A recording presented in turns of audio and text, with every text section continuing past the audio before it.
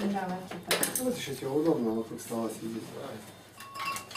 Так, подожди, телефон, чтобы не дернули. Да. Вот так мы так, отодвинем, чтобы там стул прошел. Еще. О, на тех мешковато слышно. Поэтому погромче говорите, ближе сидите. ну ничего. Ничего. Ты нам будешь. Давай, Да. Чтоб не шатался стульчик. Да поди не упаду. Вы, Алексей, будете родные сестры? Двоюродные. Обе двоюродные. Обе. А между собой родные. А между собой родные. А Алла вы двоюродные, да? Да, Алла двоюродная. Анна сказала свои, мне родные. Нет. Ну, а как мы родные? Родная Люба, вот, которая Михальчук. А, это я родная, она ходит, Люба ходит к баптистам. Баптисты, ну. Люба и Валя здесь ее родные сестры. Еще Валя сестра живет. Валя Сташтагола. Она в Таштаголе живет? Ага, она сегодня здесь. А что ж вы ее не взяли? А мы ее просили пойти. И что надо было Ну, взять? свадьба у них там. Свадьба. У кого-то в церкви свадьба. А Церковь? гости все у Любы. Поэтому они никак не А у могут их какой церкви? оставить. Православной церкви, что ли? Нет, у Ба- них. У баптистов? У них, ну. И она туда ушла, да? Ну, они гости-то приехали, у них ночевали. А Мгм. сейчас они, наверное, в собрание поехали. Ага. Ну. А вы у нее бываете там в собрании-то? ну да, Ну и как? ну, нормально. Нормально как? Вы все принимаете, что они говорят? Это Близко редко вам? бывает, что Ну, там-то редко мы бываем, в основном в храм мы ходим. Ну, в храм ходите. ну. Ну, ладно, всё, я пошла на кухню. Ну, какое-то сравнение делаете? Как понять, где правда? Вот сравнение делаем. Вот у меня сын почему-то не может ихнюю Библию читать. Какую их щу? э, баптистов, А, а читает Библию православную. А чем она разница? А вот именно я думаю, чем она разница? Вот Какая почему-то у него идет так ассоциация, А, как ему 38, И он ее читает просто Читает. дома сам. Дома сам, И но он иногда как в он храм. находит различия между той и другой? Вот видите. почему-то душевно как-то А вы еще не переносит. взяли? А? Сына-то еще не взяли? Дозвала его. Не хочет, да? Ну, почему-то не пошел. Ну, у него какие-то есть доводы, вот я не хочу, не нравится. Ну, а Ну, внутреннее какое-то ощущение. Ну, это не... Вот православно он читает как-то это самое, а вот эту... Так она одна и та же. Дело Ну, том, что понятно, что одна и та же. Библия-то одна, и они взяли ее православно, свое они не переводили, у них нету. Но она только сокращена на 11 книг. Только и всего. У них синодальное издание, от свидетелей Иеговы ходят, те свое написали. А Библия одинаковая, у пятидесятников, у адвентистов. Это православная, четыре духовные академии. В 1876 году закончили перевод. Он был утвержден, называется синодальный. Мгм. Так что, если с сыном можно было поговорить, даже позвонить, я поговорил с ним на эту тему. Мгм. А так, под видом того, что это наше, а это не наше, пускай. ну, во-первых, это, во-первых, это не соответствует действительности. общаемся. Мне 36, ему 38.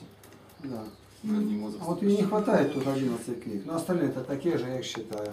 А когда нужны другие, я могу взять православную. Для спасения, конечно, и того хватит.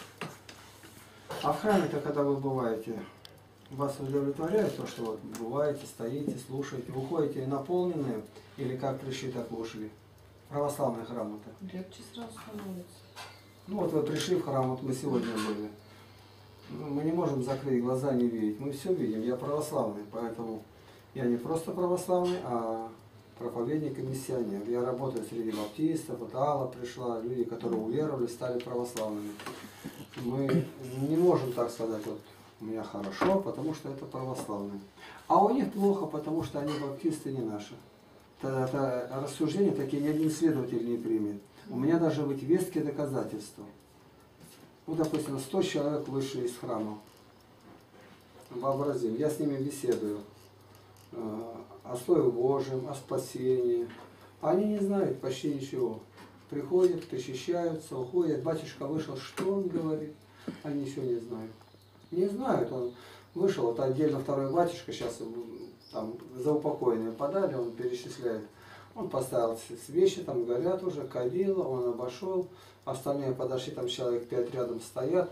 Я знаю, о чем речь идет, и ничего не знаю. Он говорит так, что и сам не знает, что. Поэтому сравнивать-то приходится уже реально. Священник вышел говорить проповедь. Он не говорит, он по книжке прочитал. И то, доходит ли или не доходит. Пришли дальше причащаться начали. Как одетые люди, знают они Бога. Ну, на руках ребятишек подносят, рот раскрыли, ложечкой положил, причастие отошли.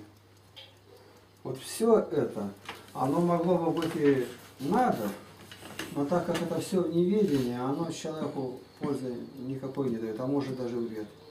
М. Понимаете, вот, ну, бе- бессмысленно, называют белый магизм.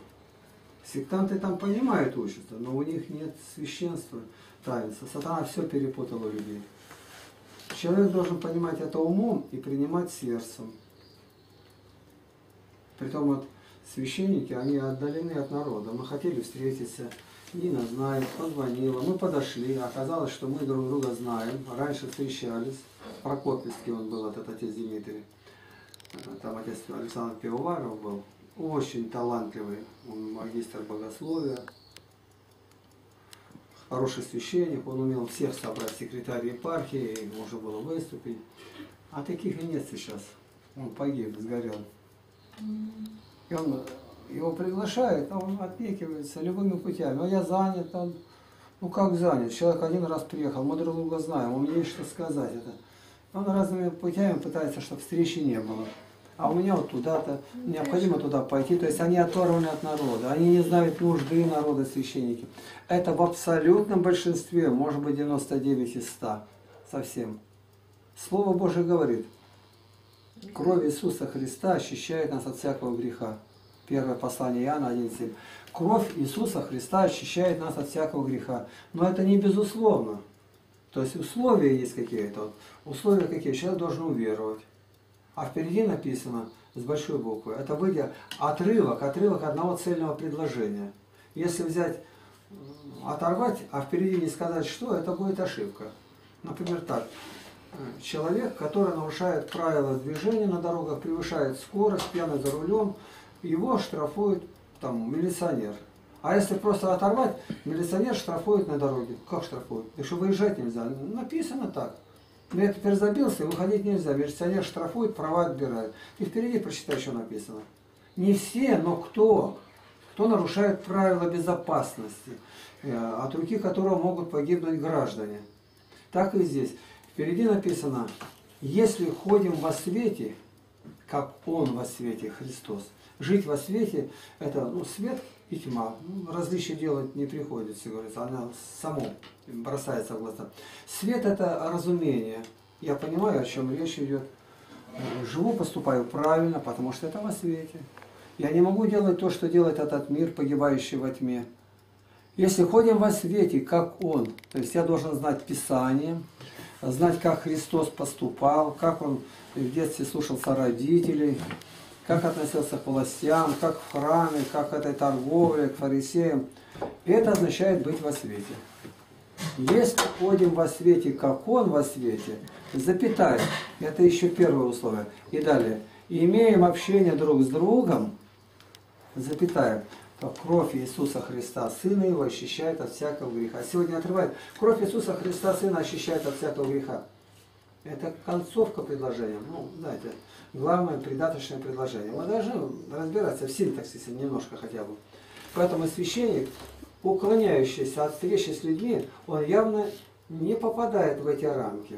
Он не имеет общения. Уж как живет, там чисто, не чисто, это ну, он сам про себя уже не знает.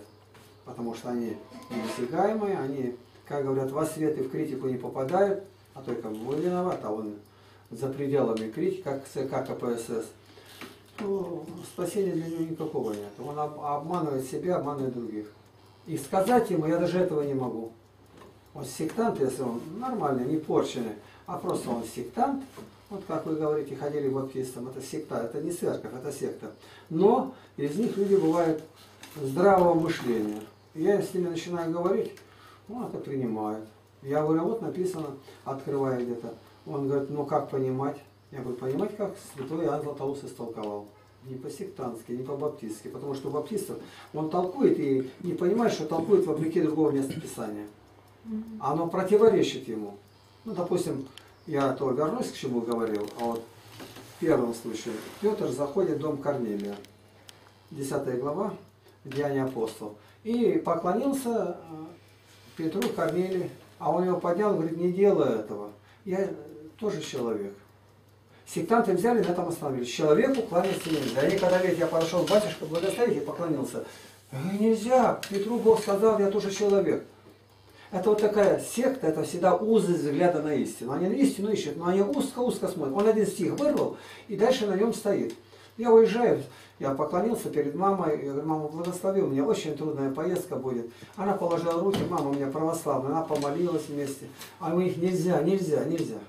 Ну как нельзя? Когда мы в другом месте открываем Библию, там 400 сынов пророческих поклонились Елисею, он принял, он пророк. Дальше мать Соломона зашла, ему поклонилась, мать Соломона, и он ее не отверг.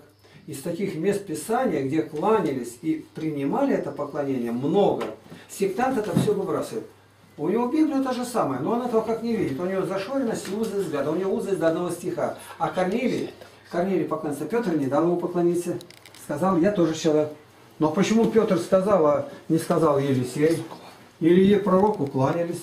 И по порядку мы читаем жития святые, не жития, а Библию. И везде, где кланялись друг другу люди, это было принято. Это общепринятый признак э, уважения друг к другу. Но если он запрещен, тогда запрещен. Сектант сразу в раздумье. Ну а почему тогда здесь? Вот понимаете, они не могут разуметь. У них разумение узкое-узкое, вот эти баптисты. Я воображаю, что вы баптистка. Вот, и вы сейчас слушаете, и Да вы мы будете куда-то склоняться. так. Ну ладно, не вы. Вот он баптист. Я как бы с ним Да, разговариваю, чтобы понятнее было. Понятно. А, то еще могу обидеть вас. Петр, это я один пример разбираю. Петр молился, и ему Бог сказал, к тебе придут люди. И Корнилий, когда молился, ему ангел явился, и ангел сказал, чтобы пришел к тебе, тебя позвал, и ты ему расскажешь. А было так, когда Корнилий молился, молился Богу, и вдруг ангел предстал перед ним, а он был добрый сотник, ну, капитан римской армии, и сказал, сходи в город Кесарии, и там в доме Симона Кожевника, кожу мяли там где, Петр Симон, его позови, и он тебе скажет слова, которыми ты спасешься. И воображение можем понять. Я молюсь, вот как Корнилий, молюсь Богу. Но Бог это величина недосягаемая. И от Бога посланник ангел. Ангел означает посланный. В переводе на русский. Ветник, вестник. Если ангел не может эти слова сказать, которыми спасается человек, значит, Петр выше ангела. Его рассуждение очень даже понятно.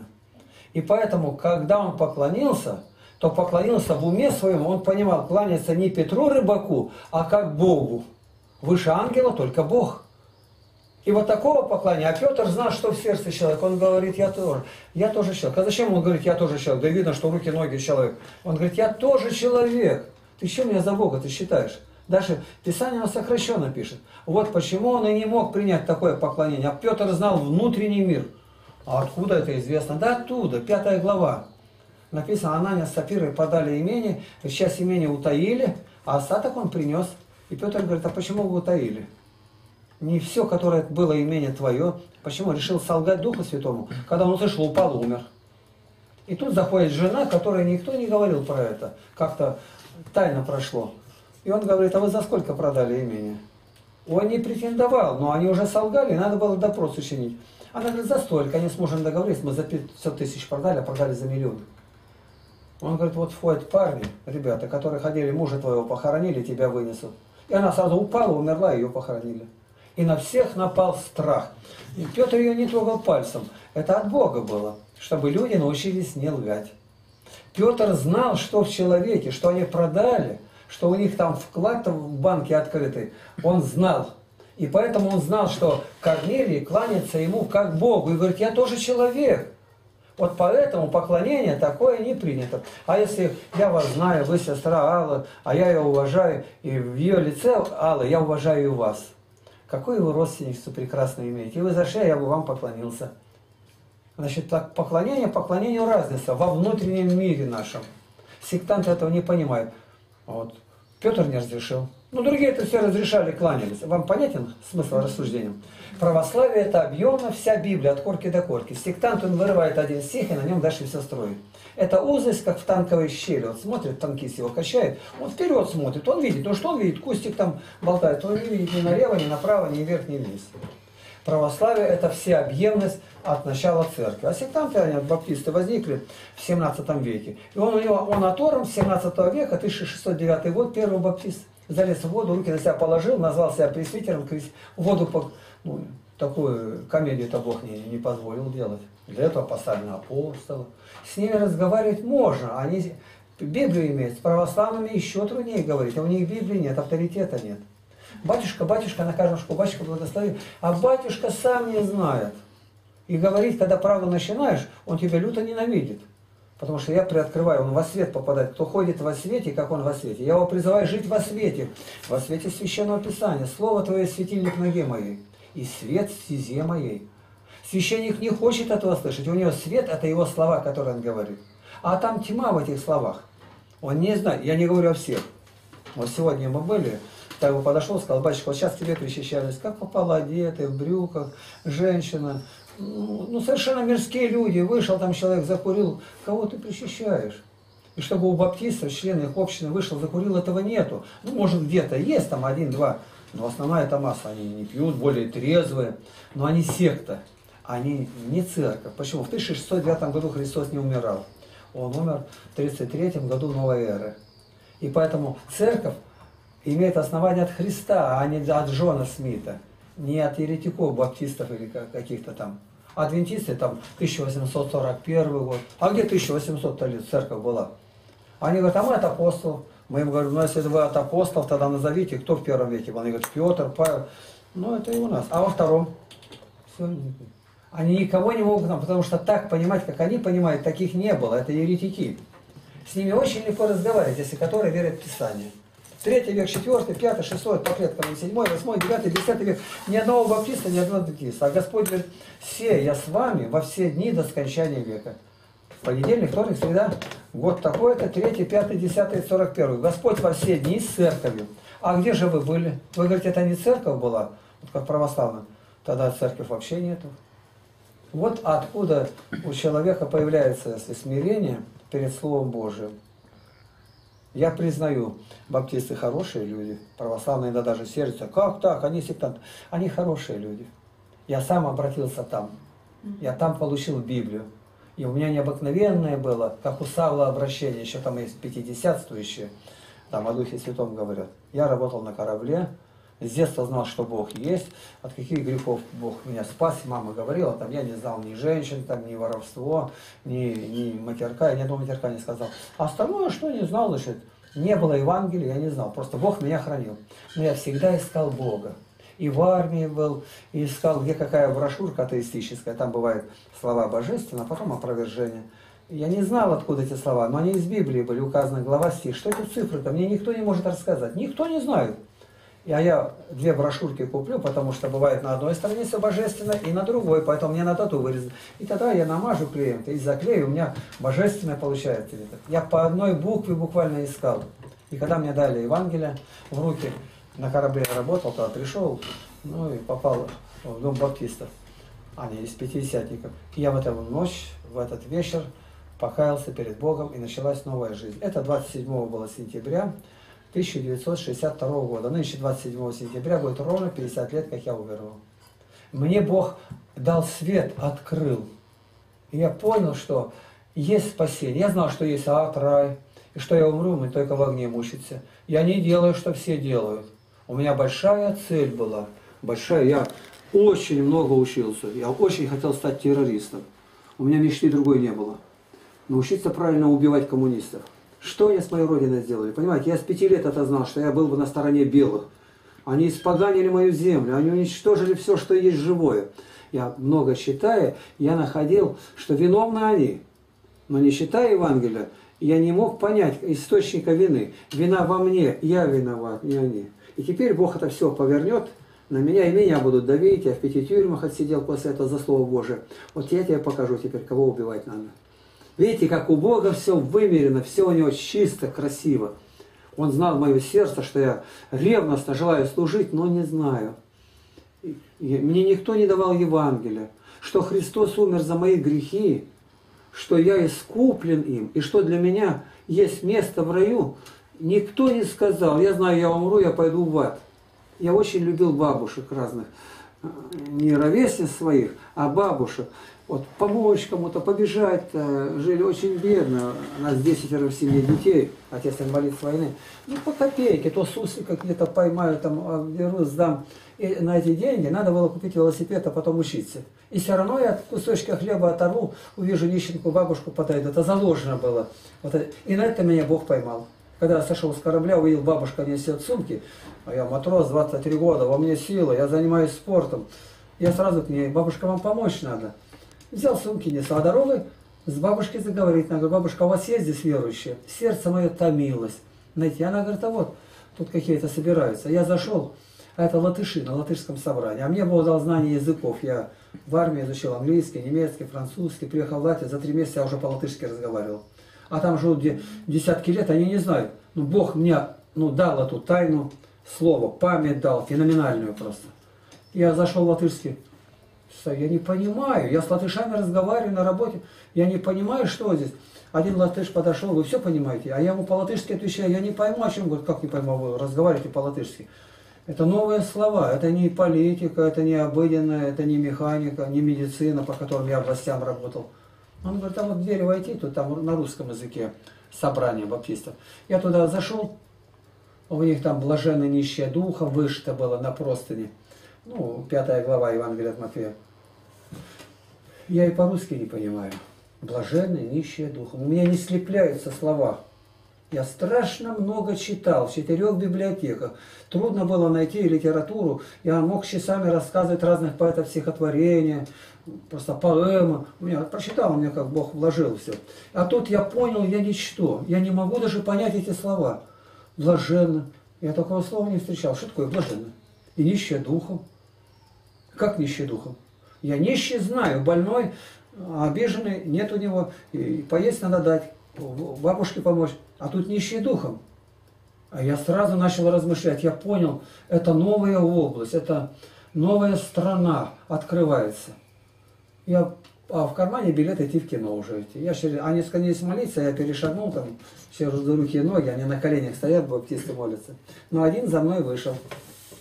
Я, кто вы будете? Я говорю, ну я вот моряк, учусь на штурмана. То. Ну, Бог рыбаков любит, хотя я был не рыбак, а технический флот. Дал адрес, заходите. И первый раз, когда я пришел к ним, это было и последний раз, когда я был мирской человек. И когда я покаялся в этот вечер, я поверил, что за меня Христос умер.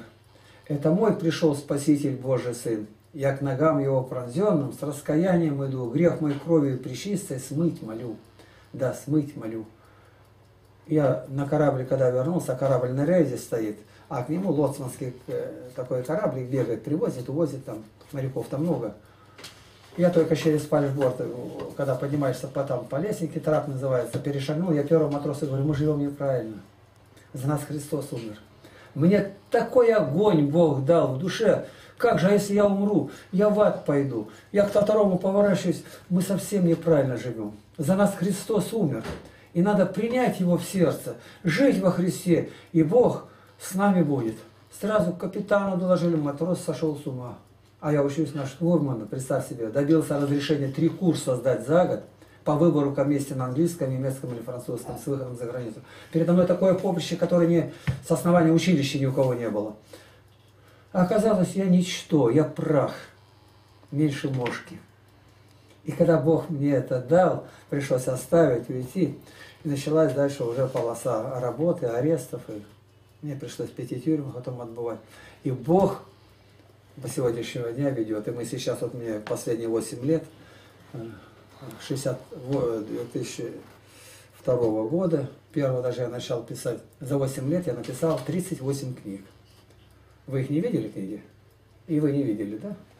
А где? А вот Новый Завет. Брат, Для слова вложения. Ну, здесь какие-нибудь, покажи. Может быть, и видели? Это не книжки маленькие, каждая книжка А, 750 Новый Завет есть. страниц. Новый Завет. И теперь я развожу их по стране, по библиотекам, чтобы люди могли читать. Я написала, библиотеки ответили, финансирования нет. С удовольствием приобрели, но приобрести не можем. Но так как я автор Ну, и владелец, но это переиздал я Новый Завет, видите, какие, А, какие книги. А вот эти книги, третий том там еще есть, загляни-ка. И там для слова Божия нет уст, найди еще, покажи. Они постный подарок патриарху, Путину, Медведеву. Видели у него? Это за 2000 лет эти книги не выходили, никто. И таких книг разные, все разные, 38. Общая стоимость вот одной книги этой, а тут э, 40, э, не, не 40, а 6, 4, 80. Картина это мы сами рассказывали, иллюстрации. 80. Это уходит в Египет Иосиф. Библия иллюстрированная. Впервые в мире тоже мы выпустили с этими иллюстрациями, это мы раскрасили сами. Вот.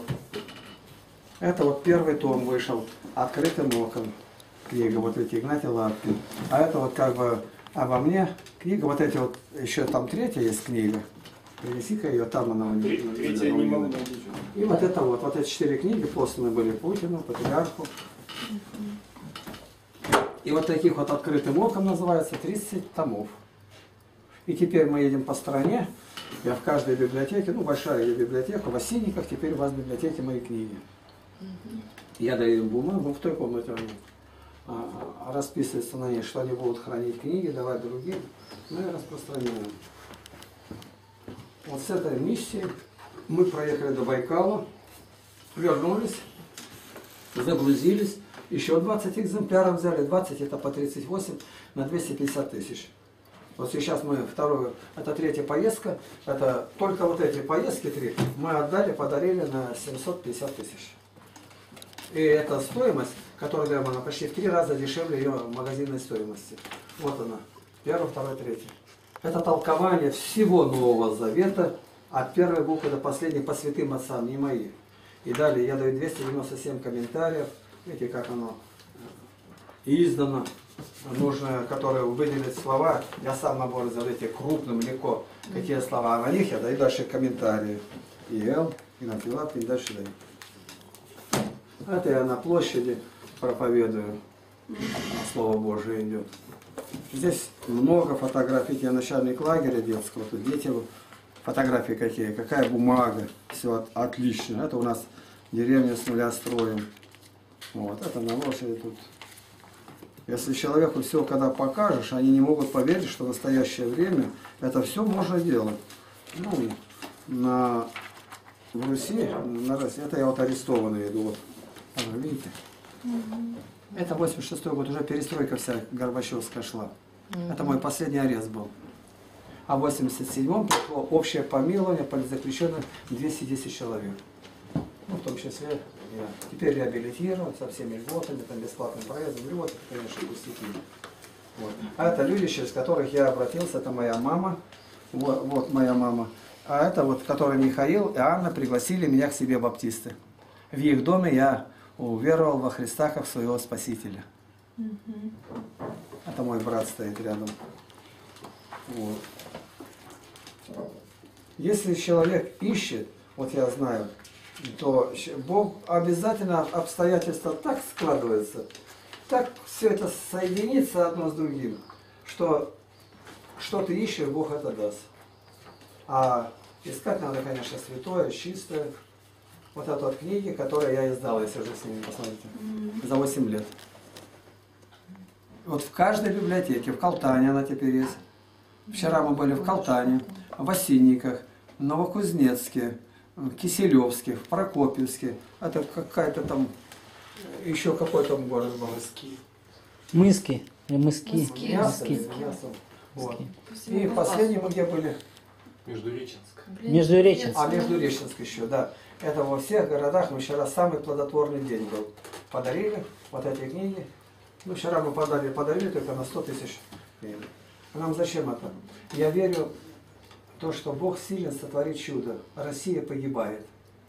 А Россия, это то, что где мы живем, Российская Федерация, максимум два года будет. Ее разделяют на части по всем странам мира, делят. Уже на картах мира она уже не Россия, а просто осколки ее. Как вот Советский Союз раньше было, сейчас отдельное государство Узбекистан, отдельно Казахстан, отдельно Латвия, Литва. Ну, мы как-то смирились уже.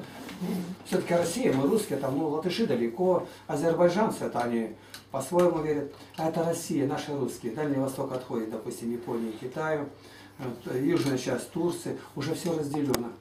Это, это все. И даже депутаты Государственной Думы выступают. Сейчас речь идет о том, как вести войну на оккупированной территории партизанским отрядом.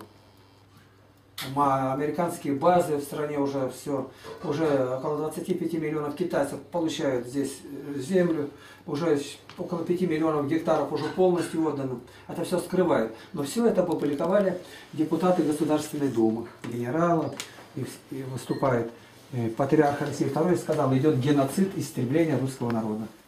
Это мировое масонство, это запрограммировано, вот нам, допустим, 120 миллионов, а оставить живых только 15, остальные должны быть уничтожены физически. Продуктами, там, отравой, сейчас прививками разными, что угодно. Будут уничтожены, оставить обслуживать дорогу, шахту, Киселев, кого-то там, здоровых, а остальное население должно быть. Когда Маргарет Тэтчер премьер сказала премьер-министр, ей говорят не 15, 150 миллионов, говорят 15, остальные ненужные едоки, они будут убраны. И не можно ли что-то сделать? Ничего нельзя сделать. Абсолютно. Сами порешите. Выступает священник э, Дмитрий Смирнов и говорит, средняя семья, средняя сегодня, 1,8 ребенка. Мусульмане 8,1. Ну, что, не- что непонятно-то? И где мы не едем на дорогах, везде эти чернявые, смуглые ребята работают. Где наши? На стройках, на дорогах, везде переполнено в любом городе. Во Франции уже, кажется, 48% мусульман. А, В Канаде в 30 раз больше, чем было там 50 лет назад. Все страны, все, это мир принимает облик совершенно другой. Ну, если это все так, это нельзя изменить, то что же делать? Ну, научиться плакать сначала, молиться и приготовиться умереть, достойно умереть. Другого выхода нет. А как достойно? Покаяться, я знаю, я смертный, сколько бы я ни жил, вот мне 74-й, вот я все же умру. Ну, ну не вечно же, ну даже будет 104 года, но все равно надо собираться. И детям наказать, чтобы не приняли печать, печать Антихриста на чело и на правую руку. Я вам говорю э, не только о Боге Божественном, но и политическая обстановка в стране. Она именно такая. Вот мы первый заезд сделали, проехали до Байкала. Специально машину вот стоит, приобрели для этого. У нее грузоподъемность 950 килограмм, нам подходящий как раз. Конечно, отечественного производства, не иномарка. Ну, она до 100 километров идет груз. 7 человек берет, и грузопассажирская как бы. Второй раз мы поехали южным путем, там Челябинск, Златоуст, до Тулы и на Москву. И в Москве, в самых центральных библиотеках страны теперь находятся мои книги. Это библиотека имени Ленина, парламентская библиотека и историческая. Ну а дальше все города, которые на пути идут, каждый город заезжаем, знакомимся с библиотекарем, показываем, что книги не экстремистские, и я им дарю. Дарю, они расписываются, что приняли, штампик ставят, я выехал. И вот мы вчера первый раз объехали вот эти семь городов.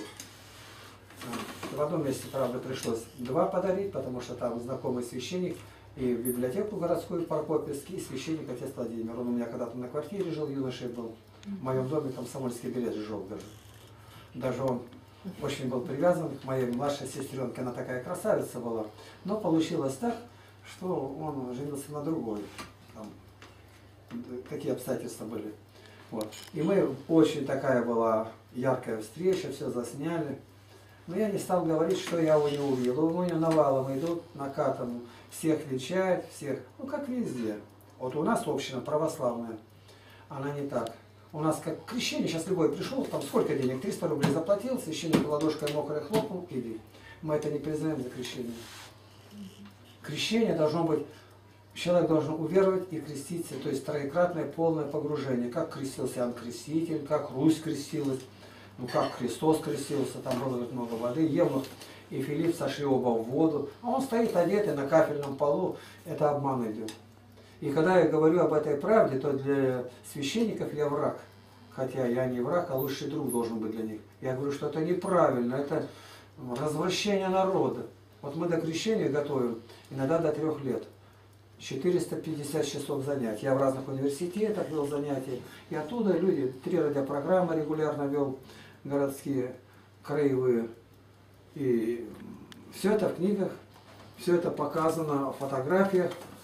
Вот, вот начальник детского лагеря 40 лет нынче, 40 лет, ни рубля государство не вложило, тысячи детей поднять. Давайте в каждом деле организуем, и беспризорная детскость ушла, ее не будет. Вот э, разрушено 17 тысяч сел, полностью уничтожено в стране. 17 тысяч. Мы получили землю, статус, школа, храм, все своими руками. Живут люди, нельзя не воровать, не пить, не курить, не материться. Вот только такие могут поселиться.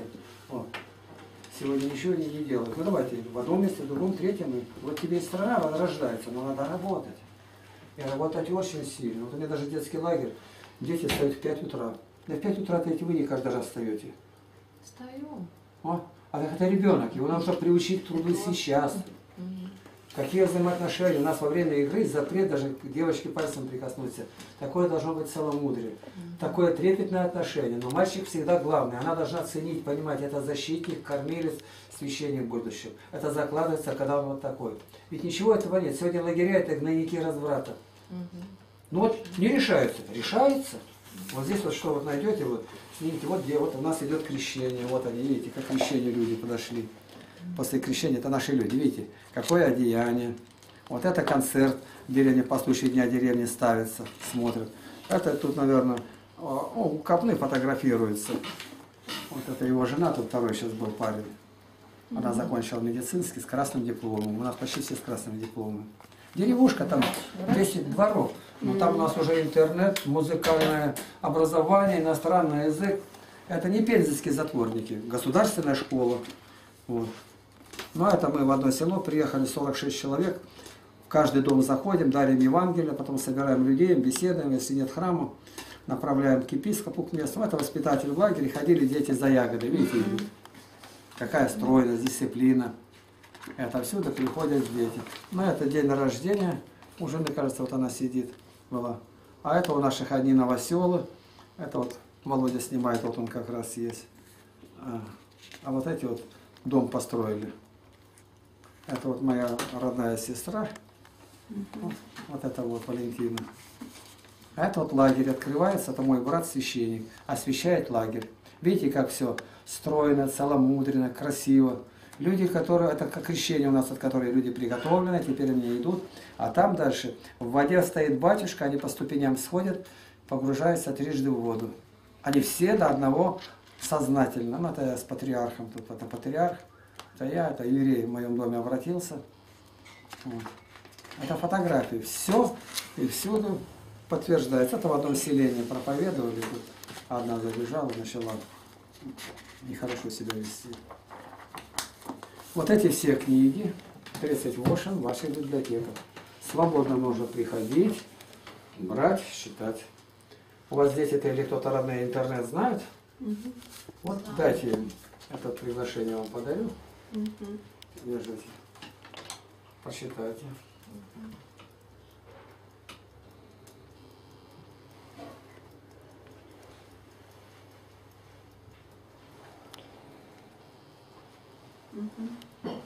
Вот интернет он наберет и сразу зайдет. А вверху там, когда вскроется интернет, написано православный форум. Это не сайт, а сайт. А то форум, знаете, лапки, ну и открет, и сразу на форум. И там 1300 тем.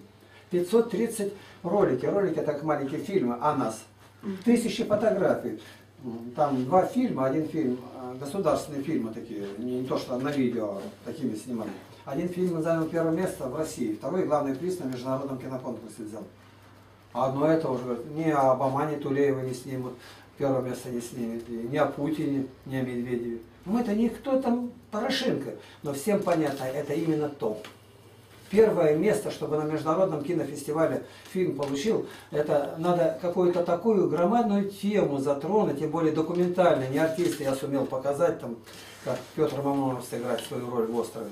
Нет, а люди, чтобы увидели это решение, это такое слово, есть проблема, я просто отплевываюсь от него, до того не люблю это слово.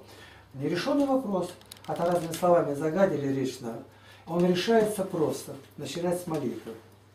Рано вставать. Вот мы начинаем все с молитвы. Едем дорогой, молимся. Вот мы ехали до города доезжать, уже потемки близко. Мы останавливаемся, по лесополоса, где машину скрыть, спрятать. Печку я сразу делаю такую из земли. Затопляем, готовим пищу, у нас все с собой. Рядом собака, она, чтобы ночью разбудить, говорит, помолиться перед, перед смертью, если нападут. Дальше срываемся, пошли дальше. Это вот третье путешествие наше. Дальше мы опускаемся вниз завтра. М, Миша-то где он живет? Тимиртау. Кемертау, а потом дальше, и дальше после одного Таштагол уже пересекаем границу а, Алтайского края, Салтон, дальше на Бийск и уходим домой. И когда люди узнают от Москве, от больших городах, там люди знакомые священники, собираются, для всех диводило, то, что мы делаем, 2000 лет никто не делал. Мы положили все. На одну поездку только на горючее требуется 30 тысяч. И народ как-то жертвует, помогает, там священник. Мы опять вернулись. Была большая опасность по этой дороге. Несколько дней назад мы едва не погибли. Прям на самом, ну, говорится, на конце задержалась машина. Плохо было с водителем. Может быть, сознание даже потерял. И машина понеслась тебе. Там большая скорость, сильно груженная. Только выехали. Перегруз буквально тонны. Агрессоры несут. Ну, срочно пришлось э, звонить. И из города прислали другого шофера. И дальше путь опять. Мы не остановились. А на дорогой сервис, и машину ремонтировали, она новая, но нужно проходить ей как бы технический осмотр. Но я уже знал, что раз мы им не дали денег, они даже бесплатно, они ее испортят, они ее испортят. На дорогу стала и мертв. Я уже пришел к выводу, что придется бросать все, возвращаться, снова собирать деньги, новую машину покупать. То есть а такие варианты правейшие, невиданные, но дело не остановится. Но Бог дал, нашли вот этот, э, рядом Кузидеево вот такое есть. И там нашелся человек, мастер, и он отремонтировал. Нашел, какая причина, то ли эту пакость сделали те, где в сервисе, или, или так. от- Ну, главное, что до сервиса машина уже 17 тысяч километров прошла. Последний день мы прошли 1615 километров, представьте. Вот, что еще надо-то? Машина совершенно... Ну, тут она полностью вся на развал как будто пошла. Ну, все собрали, и опять мы в пути. Спрашивается, зачем вам это нужно? Ну, зачем нужно? В первую очередь, это прямое повеление Господа. Он говорит, сидите в Иерусалиме, доколе не облечетесь силой. И тогда будете мне свидетелями. Мы ждали, мы молились, Бог облег нас силой. Облег. И мы с этой силой божественной двинулись в путь. Мы не берем, а отдаем. Мы даем то, чего нигде нет. Это вопрос-ответы, которые мне задавали в университетах. Я вел занятия в милиции, в воинских частях. И эти вопрос и ответ, вопрос-ответ. Одна книга. Это полностью посвящена поэзии. 300 поэтов России за 300 лет. И фотографии. На каждый вопрос, который мне задают, что отвечают поэты. Шесть поэтов разных эпох. Опять новый вопрос, опять, что шесть поэтов из разных эпох. Именно у него только одно такое стихотворение. Благодаря Евгению Евтушенко мне удалось издать. И эту книгу, если только канарки дают, и кто связан журналисты, они сразу ее сметают, утаскивают. Ее просто нет такой нигде книги. Но Господь позволил вот все это издать и с этим сокровищем поехать. И мы рады, когда мы даем, люди считают и преображаются. Вот оно попадает в заключение, в тюрьму даже отдавали.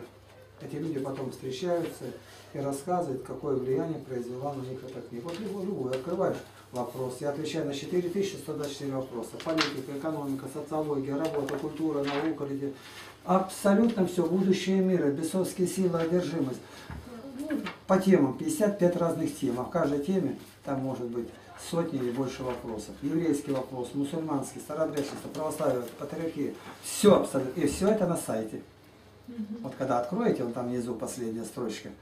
И там они все по папкам разобраны. И в каждой папке, допустим, отдельно работа, ты открыл, там том такой-то вопрос задают. Верующие могут ли работать вот на таких-то работах. Вот я лекарем работаю на ликероводочном.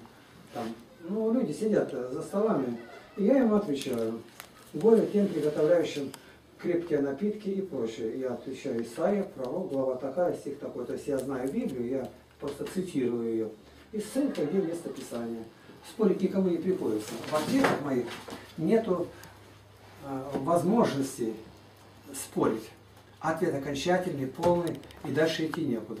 И кто бы он ни был, православный, баптист, коммунист, он это понимает. Ответ дан в окончательной форме.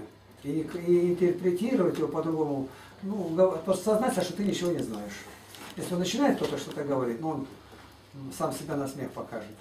Если я занимаюсь еврейским вопросом, то я разбираю все, что об евреях было сказано за 3600 лет. Все.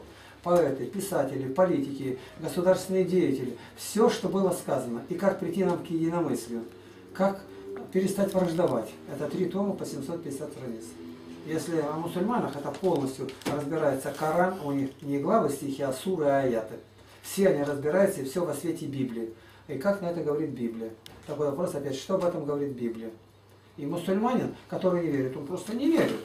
Но если он верит в Священное Писание, больше ему там делать нечего. Он будет православным. И сектанты, которые считают, вот руководитель сектантов, он начал считать, в Mail.ru мы ра- работали. Он 11 лет у них на руководящей работе там работает. Он отставил все, принял крещение, сейчас готовится быть батюшкой православной церкви. Православие это всеобъемлющее. Это не, да- не- невозможность доступности для других людей истины. У нас благословение, причастие, сектант этого не имеет. Они ломают хлеб, дают, но хлеб остается хлебом. Это только подражание. Здесь сакральная сторона, и ее надо раскрыть. Сакральная, таинственная, божественная. Священник берет хлеб, а подает тело, берет вино, дает кровь. Совершает молитву. Мы беседуем с баптистами, говорим, вы можете быть другими. Примите священство. Ну, вам православие не нравится. Пойдите к католикам, это тоже церковь. Есть только пять ветвей, которые сохранили себя. Это григорианы армяне, армяне, копты и сирийцы. Все. Больше нет нигде. Все остальное не церковь. Вы, может быть, вам община, деноминация, там любое название вам. Сейчас их названия эти, 21 тысяча разных названий, разных. И у всех Библия одна, и каждый по-своему толкует. А церковь, она одна.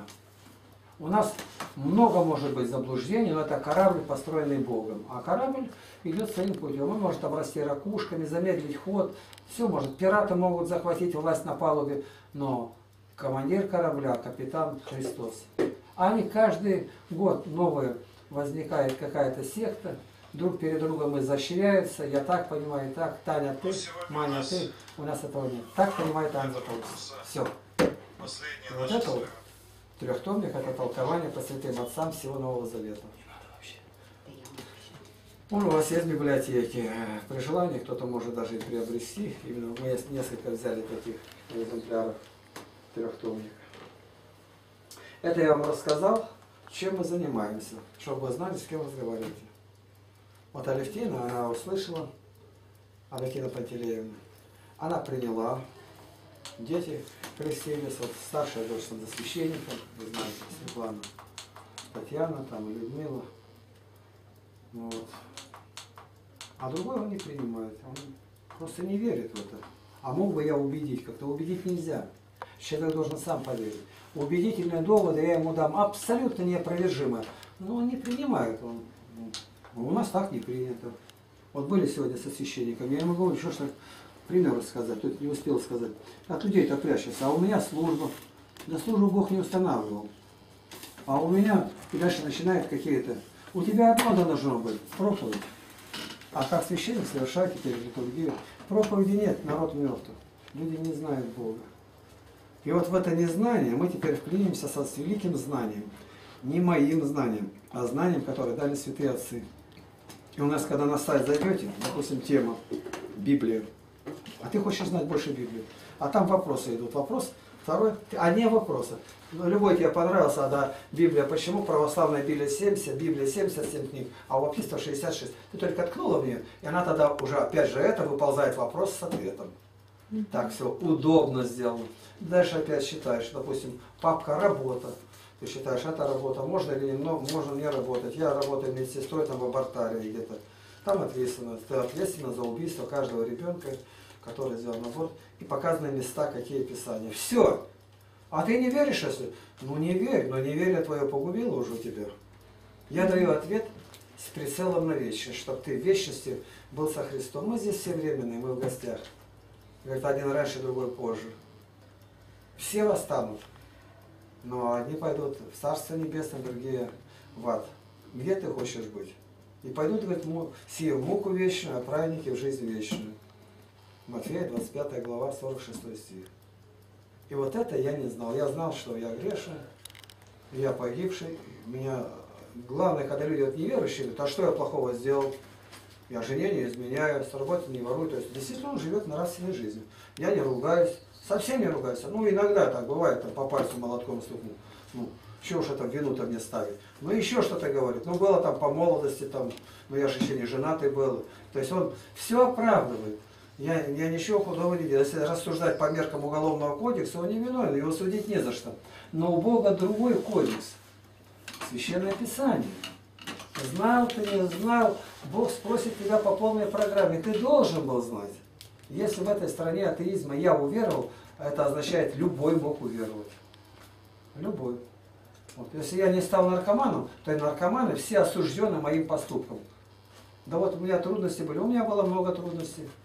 Но я не пью, не курю, я даже отказался от мяса, ни чая, ни какао, ни кофе мне не нужно. Мне просто не нужно. Не то, что я бы воздерживался, а мне вот оно не существует. Как бы я другим говорю, не делайте этого, не берите в рот. Вот мне 73 года, я еще ни одной таблетки не съел. Просто я знаю, что у меня нет болезни. То есть они болезни, я их не считаю за болезнь. Там колено плохо, ну естественно, стареет, засорение там или чего-то, как угодно можно объяснить. Но не стани никогда, живи радостно, считай, что это последний день. Бог так много дал. Я с детства любил в природе вот это птиц. Первая книга купил про птиц, орнитология. Я с этим прожил, у меня три голубятни. Понимаете, мне настолько радостно, это элемент воспитания детей, влажу с ними 73 года, где-то помнишь.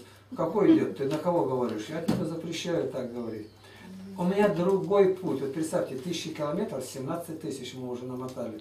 И, ну, конечно, утомительно. То есть пришлось сейчас посидеть, подремать, но радостно. Есть выражение у Чернышевского. Он говорит, счастье человека тем больше, чем большему числу людей ты приносишь счастье.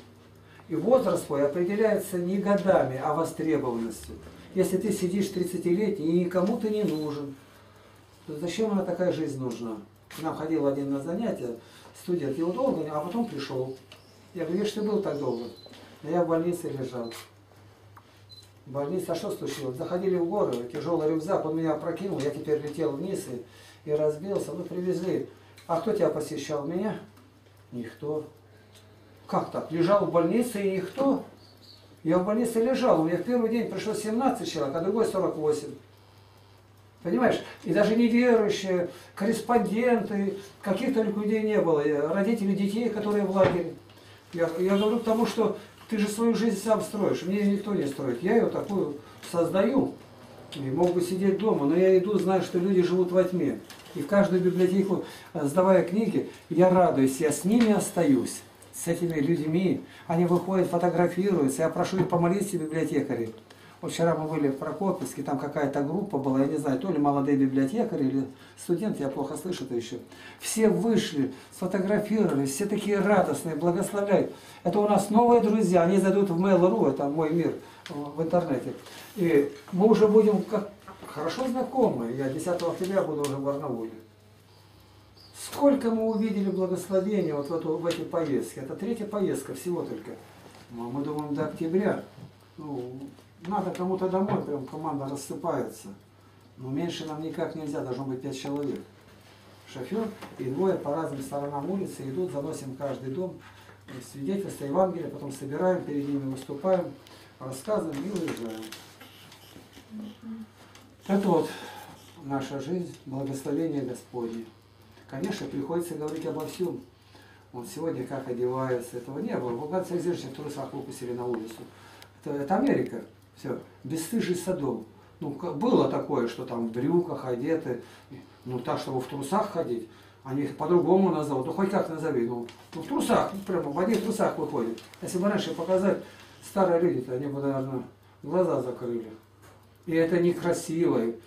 Красиво, когда женщина, я как мужчина говорю, она создает тайное одеяние. Посмотрите, как одеты мусульмане, как, как, она, как она выглядит, как, как она смиренно. Посмотри на изображение Божьей Матери. И даже в этом и ума не хватает.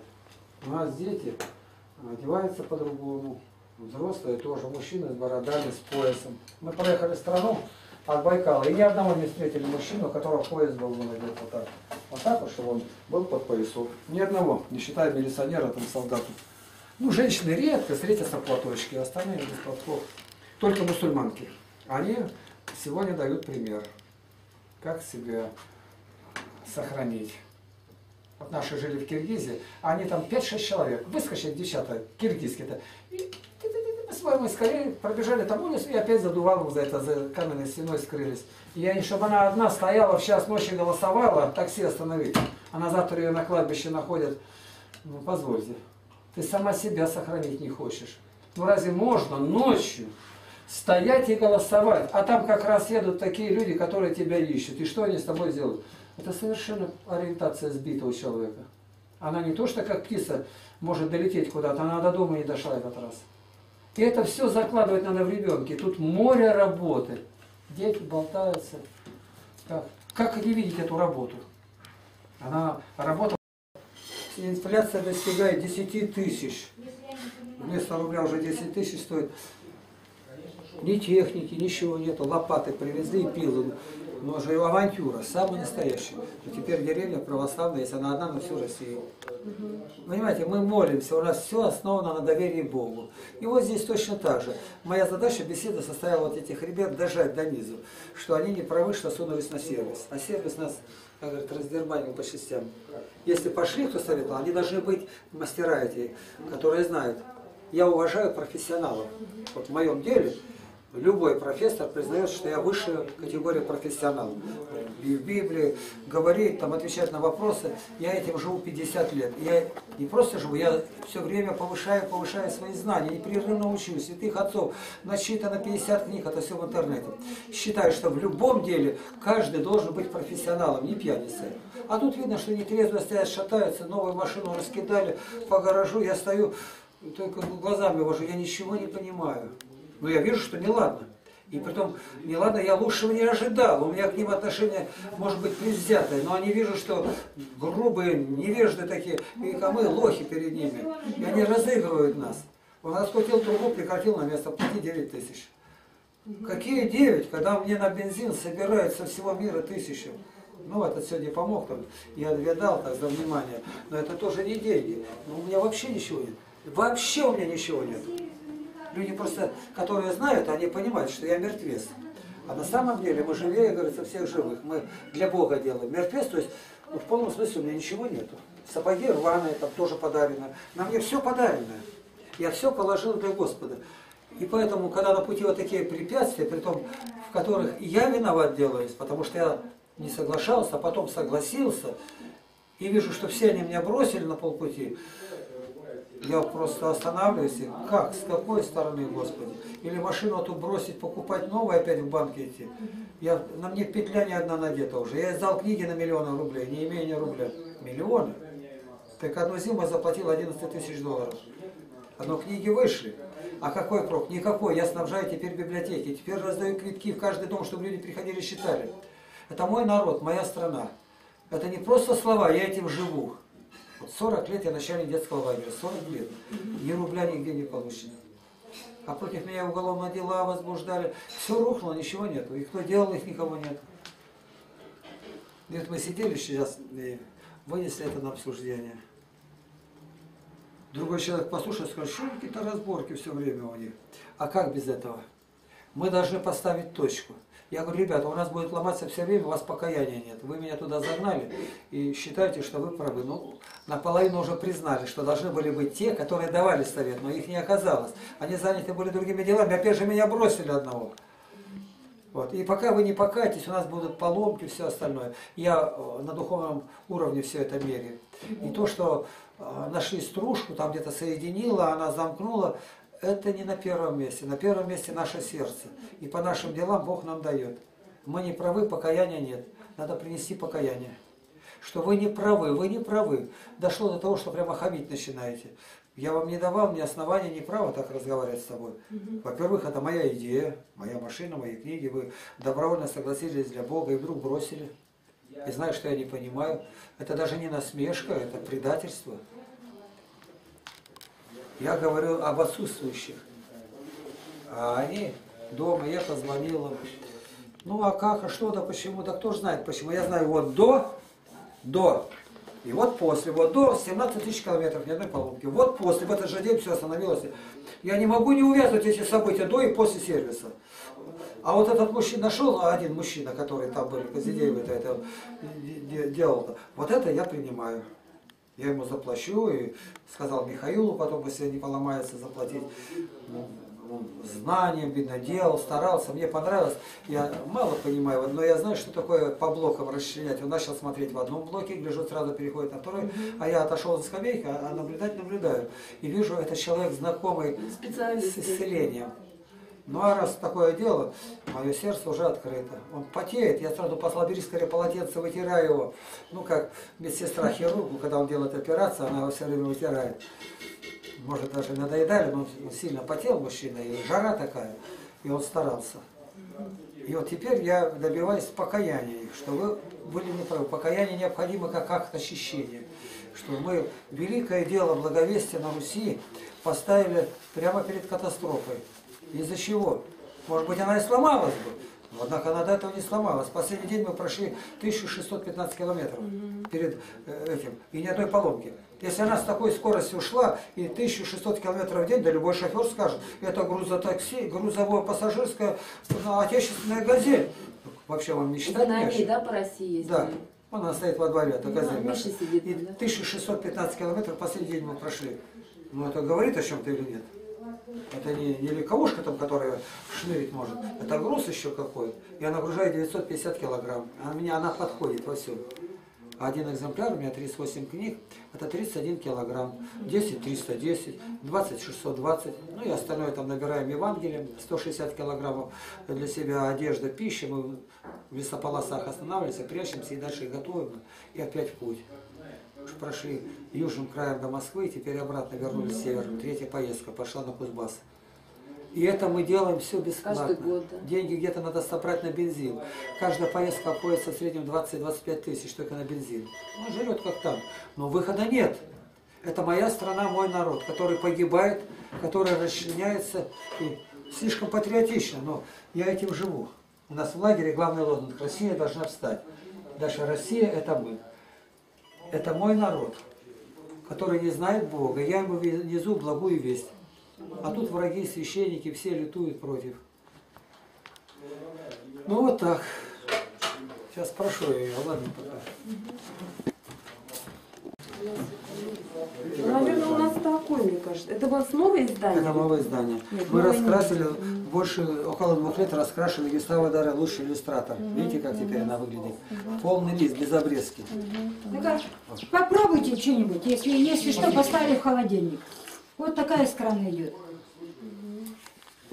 У тебя там звонок звонит, Лёль. Я и слышу. Видите, как выглядит? Ну хорошо, включил. Бумага такая качественная. Ну, это мелованная бумага, все это огромные деньги стоит. Я в магазин пошел, книжек, ну, знаете, что за это, с закладкой. Одна книга полторы тысячи. А у нас три книги за полторы.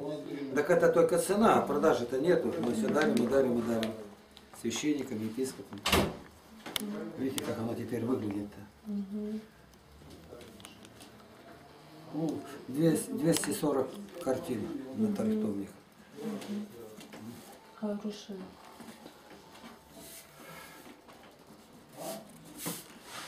Это радость. Видеть, как одна подошла ко мне на занятиях и говорит, я понимаю и счастлива за вас, что вы при жизни видите, как выходят книги. Люди даже напишут, они не могут издать.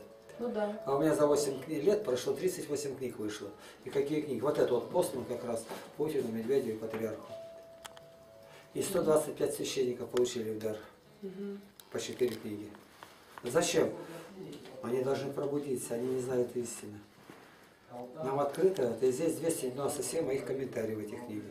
Это впервые за 2000 лет вышло полное толкование Нового Завета. За 2000 лет его не было ни Западной, ни Восточной Церкви. Но одно это говорит о чем-то. Книги наши, они не просто уникальны, они единственные. Их просто нету таких. И вот мы сейчас, вот третью эту поездку, ехали на Кузбасс и сразу поломались. Завтра утром Ты хотели... поешь? Нет, нет, мама что? Давай, угощай. Нет, нет, Так с работы сейчас? я заработаю. Я все-таки поставлю в холодильник немножко. Можно не ставить. Не надо? Утром рано мы уезжаем и совсем уезжаем. Как совсем? Как совсем? А в библиотеку? Калтан в библиотеку, потом сюда вернемся. И дальше уже идем на Кузнец, Прокопьевск, Киселевск, везде. А, ну так я так и поняла. Ну все, сюда уже мы не заезжаем. Домой ко мне не заедете. Тебе не заедем. Это понятно, но в библиотеку-то я с вами могу здесь. Конечно. В Калтан с вами съезжу и и сюда в библиотеку. И Калтан- все, я домой. А я что ты в Калтане будешь делать с нами-то? А что, нет места не будет? Ну, если даже найдем, зачем ты поешь-то? А где я его скороводить-то буду, чтобы в эту библиотеку вместе сходить? А вы эту знаете библиотеку? А что не знаю-то, конечно, знаю. Да знаю. Придется брать. Да, а? Только я не Да знаю. мы если- нашли библиотеку, ты расскажи. Да где. вы найдете, я знаю, что найдете. У нас, видите, Я хочу с вами да побыть понятно, пять она у нас перегружена машина, мы за каждый килограмм бьемся, даже из бутылки воду лишь его Да изливаем. я мало вешек, это четко. Ну, однако 50 килограмм будет. Не знаю. А она у нас машина с перегрузом идет. Мы все же должны скорее разгрузиться. И зачем ты будешь мучиться с нами? Я не мучиться, я хочу с вами побыть немножко вместе, а потом я домой, и вы, ну, В дороге мы с тобой уже ничего не А можем. то тут Калтан-то 20 минут.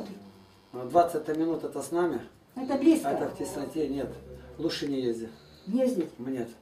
Мы с собакой, нам это неудобство. Ну как скажешь, ой, собака же там. Собака, мощная собака, представь себе, Ага, занимает три места, у нас все сжато. А, не, не, не поеду, нет. Молодец, что согласилась, без обиды. Да а чё, как обиду-то? Нет. В Калтане библиотеку вы тоже найдете. Мы найдем. У нас опыт уже есть. 190, э, как 90 уже библиотек, то мы найдем. Да. Мы делаем дело, которое никто никогда не делал. А. А почему? А где они возьмут книги? Их сначала надо книги написать, издать, и чтобы книги были отдельно, а их кто-то... Да это невозможно. Они не идут на это. Они идут сейчас в церковь попыткой, когда Вот Ванька-то Данилка не знает, кто у нас в гостях-то. Ну, бизнес церковный. Кто? Ваня с, с Данилой. Ваня, у вас ребятишки-то? Да. А, Ребятишки хорошие. Хороший. хорошие.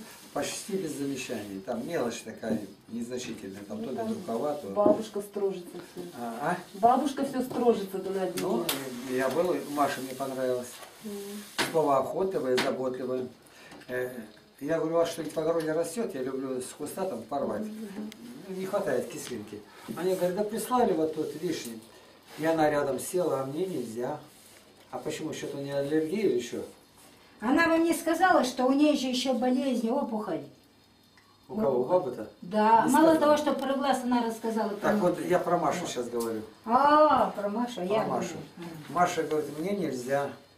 Она не сказала, почему, что-то какая-то то ли аллергия. Корочку от арбуза съела, ее рвало вчера. Ну, что-то там, не- поэтому- она, и она воздерживается. Мы сидим, а то вишню едим, она, ну как, вишня хорошая. Ну, Такое рассуждение, чтобы ребенок пятилетний спрашивал, хорошая нравится, это явно, что о ней заботится. Она видит, э, что другим нравится, не нравится. И мы с ней подружились. Если только Бог продлит жизнь на следующий год, она может уже приехать. Ну, шесть лет это почти семь. Так а Яша-то сколько было у вас было? Он приехал Сыныч, только что приехал. Яша приехал? Приехал опять с бабой. Маша сказала, 5 лет, 5 лет ей вроде бы она сказала, девочка. Пять и еще. 5, Пять. а не 6. Я говорю, будет На шесть. следующий. Будет 6. Я про это сказал. Так а с кем она приехала-то? Яша-то? Ну, с, Ва- с Валей, с бабушкой. А, Валя. Валентина Хапилина, она на фотографии везде, к истинному Так у православию. нее, это же, это же, как ее звать-то? В Канске-то, они в Канске же живут. Я не знаю где-то, она живет в Казахстане. Ну да. Нет, она где-то там, в другом месте, кажется. Ну, Яша-то где живет? Яша. Ну, в Казахстане с матерью. А, тогда не тот Яша. Я вам говорю, тот, который с Канска-то, вот это, будь она. Таня, Анна-то, Анна привозила. Яша-то маленький. Вы его Да. еще, вы еще вот он, я смотрю, Кружку плакал, да. Кружку Вот плакал. он как раз и приехал. Вот я уехал, он приехал, мы не встретились. В один день она из Барнаула выезжает в Потеряевку, я в Барнаул приехал с Потеряевки. Вот сейчас. Она в воскресенье приехала. Так а мы были, так он что, там что ли был? Да не было, конечно. Ну вот Ну, это уехали. воскресенье, в это ты была тут? А, не-не-не. Три дня назад. А, Яша, ну вот он. Яша приехал, я его не видел. А ему сколько лет? А вы этот ролик не видели? Нет, ну, фотографии только. там Фотография на видео. Но он там вообще, ну, крошку, мы так смеялись. Вот в кружку он говорит, ну еще что-то, нет слез-то, ничего, ну давай, Яшенька, ты еще давай там, давай э, по- по- поплачь. Он сразу, «А-а-а», сразу начинает. Вот, Плачет прям по-серьезному. вот прямо артист. Мать выкручивает, а мать на поводу идет. А я хотел доказать, что он не плачет. Но он не плачет. Он артист. Ага. Ребенку два с половиной года, он из мамки веревки видит. И дальше я рассказываю, что такое ювенальная сица. Сейчас бы ювенальная сица здесь, говорю, сдохла возле нас. Издевается над ребенком, что ребенок сухой, накормленный, мамка рядом сидит. В чем издевательство? Он затеял у мамы ручку, а мама ручку не дает. Он такой лег устраивает. Вечером не ложится, ночью не поднимешь, утром не встает. Два с половиной года, тирания сплошная. Прошло полнедели, парень как шелковый. Все. Я его сразу продрал два раза. А он как что от бабы удирать во все ноги. Я его, ребят, ну поймать его. Ну, его настигли, поймали в кусты. Я его просек крапивой. Маленько понятно опять удрал. Третий раз его заводит. А если я не буду убегать, меня не будете бить? Нет. Все, больше ни разу не побежал. Все понял. Он вопросы задает, показывает, что он ребенок нормально мыслит. Ну а дальше это уже пошло разговор о дальнейшем воспитании. Я прихожу в лагерь, Яша недоволен. Вчера на вышку, а вышка трехэтажная, и там смотреть бинокль, там откуда люди. И лазили туда, а его не пустили. Он подошел ко мне и говорит, а меня на вышку баба не пустила. Я сказал, баба, почему ты не пустила? Ну, вот маленький упадет. Так сейчас сама лезешь туда, и я его поднимаю. Ребенок имеет право получить то желает, если это не во вред. И поднялись туда. Дальше другие у меня бум. Это 75 метров, бум там перекрестие на таком уровне. Вот такой вот. И дети там ходят, учатся вестибулярный аппарат. А меня не пустили, баба боялась, что упаду. Я сразу взял ходуль, ему руки дал и повел. Баба, смотри, я иду. Валя, почему ты ребенку не даешь одеваться? Понимаешь, вот смотри, как- какое у него лицо, как он тебе кричит, как радуется. Ты сама сейчас у меня полезешь, будешь ходить здесь. Игнатий Иванович, это не Яша, это же Паша.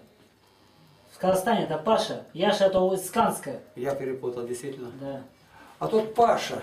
Она мне говорит, Яша Паша. Но Ты прав. ролик-то Яша, а не о Паше. А, да, да, да, да, да. да. Да, вы перепутали. Вот такое дело. Абсолютно точно. Ребенок имеет право получить все, что он желает, если это не, никому не приносит ущерба. Это Паша, они с ним приехали. А Яша это Канский. Они напомнили, я просто перепутал. А сколько же Яши было? Пять лет, наверное? Нет, даже не было. Это Яше два с половиной года. Яша да Паша. А зовут, вот у нас приезжает иногда такое имя, ну, броское, оно задерживается, а это тот самый был уже два раза, два года, и это теперь два раза. Он приехал первое время, а родители долго спят, и он им поднимает на молитву их. Паша, а что спите? Надо утром на молитву. А потом все это расслабло, родители не поддержали. И он опять ребенок скатился, в ту же обезьяну превратился. А теперь и родители его гвоздают, и он плохой. Ребенок плохой, учи надо как.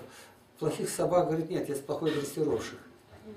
И зайди с другой стороны, посмотри, что ему нравится ребенку. И на этом попытайся найти какой-то скрытый талант. Или они не, не умеют и не любят детей. Я говорю, детей-то Бог дал вам, а вы их не любите.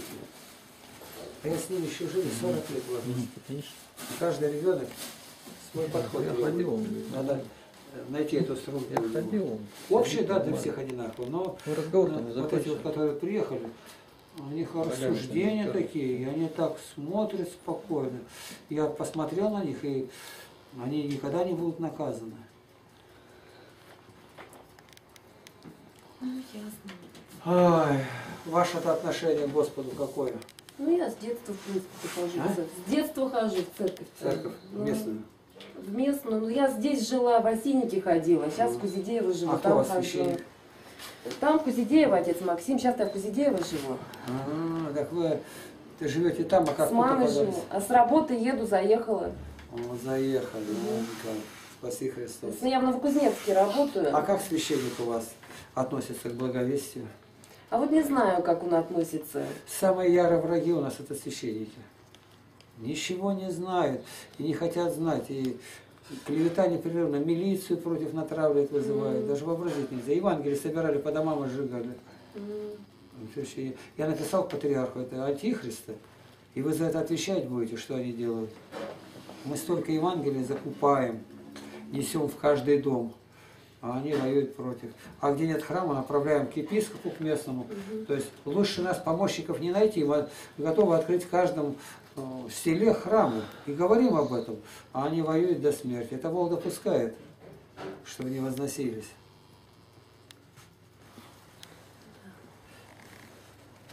А вы где-то собираетесь за исследование Слова Божия? Это плохо. И очень плохо. Надо, чтобы была единая община. Нет, у Собирались нас, знаете, как у нас в деревне-то собираются. Он собирает э, собрания, как бы не для такие. моления, для исследования. Для исследования, да. Он собирает. Это я за себя говорю, что я на работе с утра до вечера, у меня возможности нет. А так-то они занятия делают для взрослых и для Занятий детей. нет, люди не, духовно не растут, они на одном месте стоят. Нет, наш собирает занятия и для взрослых, и для детей В отдельно. библиотеке там теперь, Мгм. Там все мои книги. И там третий том открытым мохом, синяя, львица на скале спасает львят, потоп идет. И вот э, в этой, по этой книге надо вести занятия. Там пособие по изучению Евангелия от Марка. Пособие. И в этом пособии там говорится, как, сколько людей, какие вопросы, кто как должен. Ну, чтобы все активно работали. И уже недели через две люди друг друга знают, встречаются. И такое родство, оно неподдельное. Просто пришли в храме поздороваться, это одно, а мы вот, ну, как будто из одной семьи. У нас, нас ничто не разделяет, почему нас Христос объединяет. Тогда оно в любом вопросе как-то к одному горизонту идем. А священник-то где-то ведет занятия? Ну, там воскресная школа есть, в школе Воскресная воскресная школа. школа. А какая программа у них? Просто закон Божий или... Ну, Просто, просто по закону Божью они занимаются и все. Ну, мама нас про- ходила несколько раз. э, Мгм. Надо У нас толкование святых отцов. Мгм. Вот это вот. Это толкование Иоанна Златоуста фактически. Я вот покажу любое место, Писание, это Нового Завета, это первый том. Это такое издание. Золотое. Вот открыл точку. Евангелие от Матфея, первая глава, 17 глава, тогда 14 стих. Вот черным курсивом, видите, жирным курсивом, это место из Писания. Дальше дается толкование. А вот если дается толкование, и что? В Писании, вот мы, это я теперь растолковываю, и это мои комментарии, оно другим шрифтом и подчеркнуто. Я ничего не толкую. Я просто это место усиливаю другими местами из Священного Писания. Они бы, ладно, ничего, да взяли, да вот вы комментарии. Комментарии оживляют. Они приближают на сегодняшний день и конкретно каждой душе. Ну, воюет тот, кто не принимает ничего. Я ищу, где комментарии, бывают большие комментарии. Они э, 2000, сколько, 1100 лет уже, нет, 900 лет, вот этот Блажена Фефилак. Но их нигде не было, никто никогда не, не выделял. Я видите, как их резко выделяют. Слово учительское, так, ибо слово учителя. Вот эти слова, слово учительское, а теперь дальше разъясняю. И я, это 297 таких комментариев. Я поясняю слово учительское, слово, и все это слово дальше. Теперь опять желаю, чтобы всякий христианин был полезен и силен назидать других. Вот. Ну и об этом, видите, какой большой комментарий. И, я, и оно отчеркнуто линейно. Вот по этим книгам очень легко вести занятия. Ну, с третьим томом в купе. Вы в библиотеке там оставили, да? В библиотеке оставили в Да. Кузидеево там, да? Только первое издание, это второе, а то первое было еще с черно-белыми. Показывай, как занятия идут. Мне, мне что? А, У вас какие-то, может, вопросы есть? Да вроде пока нет, не знаю, очень сложно Книгах так вот. э, Я отвечаю на слушаться. 4124 вопроса. Если вы прочитаете, у вас вопросов вообще не будет.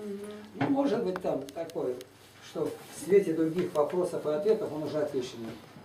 Люди должны жить ну, со свободной душой. Вопросы они заваливают, задавливают. Вот мы как решить, как машину направить сегодня? Я просто отошел и все. Я уже прорешил вопросы, избавиться от нее. И даже бросить ее, потерять ее, на что ты как в благовестии не остановился. Если ну, ее, она не ремонтируется, уже ничего нет, ее, говорится, разодрали, и поэтому покупаем новую. Ты понял, куда я уже зашел? Что для меня ни китайской, ни японской стены нету, для меня есть дело. И она будет проломлена, пролом за проломом. Ты мог убедиться. Я сидел и говорил, один вариант такой, попытаемся ее вызволить, вытащить, найти мастера, ну там где-то здесь не найти. Тащить ее на аркане очень трудно по горам, это тормозить, тащить, и сама машина едва идет, хоть трактор посылать. Поэтому легче ему было, может быть, продать ее. Ну вот пока направили, доехали. Но сердце неспокойно. Неспокойно по той причине, что в этом сотворенном нет покаяния, что неправильно было сделано. А за этим, как правило, следует отторжение от Бога. И мы можем потерять все. Мы натолкнулись на мощное сопротивление врага. Разные причины, отговорки где-то. Богу это не надо, наши оговорки. У него да и нет. А сверх этого это от лукавого. Да, виновен. Зря за. Вот вопрос, да. Да, до конца не проработали, да, так. Бросили, покинули, да, так. Каюсь, тогда путь к исправлению открыт. А Если это нет, это плацдарм для следующей ошибки. А уже это второе, повторно, это уже будет система. Притом неисправимая система. Я тут не увидал книги, охота посмотреть, а кто же их переплетал?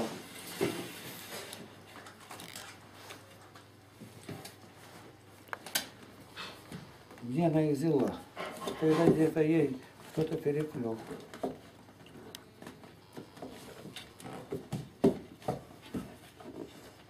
Неужели это патриархия так издала? Это меня очень заинтересовало. Это мой переплет. Это я так переплетал. Да это, скорее всего, здесь в типографии Это переплетали, жития наверное. святых. Откуда они у нее?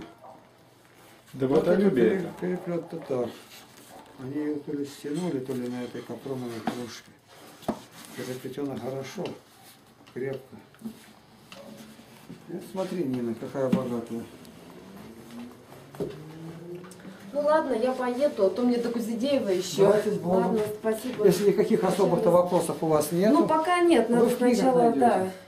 Да, почитать так нам нужна была бы помощь небольшая, может быть, от вас.